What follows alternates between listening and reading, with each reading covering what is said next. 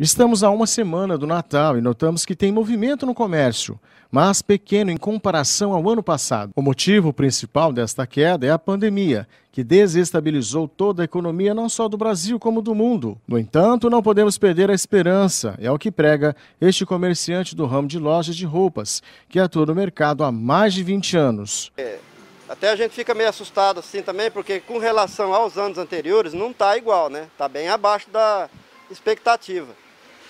Mas assim, então a gente vai se adequando, né, no, no assim, nas compras, né, você compra aquilo que você está vendendo mesmo, né, então a gente está trabalhando nessa expectativa.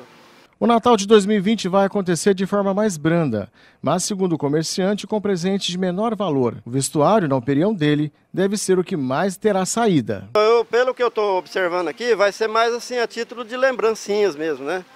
E, que é o que o cliente está consumindo, né? Então tá todo mundo assim meio. Circulamos pelo calçadão e mais uma vez pudemos constatar que os presentes vão chegar, mas há prioridades da família. As crianças devem ser as escolhidas, que é o caso da pequena Lara, de dois anos.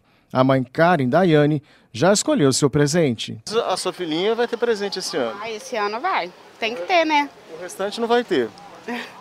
que jeito? Nem uma lembrancinha? Não dá. Esse ano não dá. Só criança mesmo vai ser o jeito. Criança.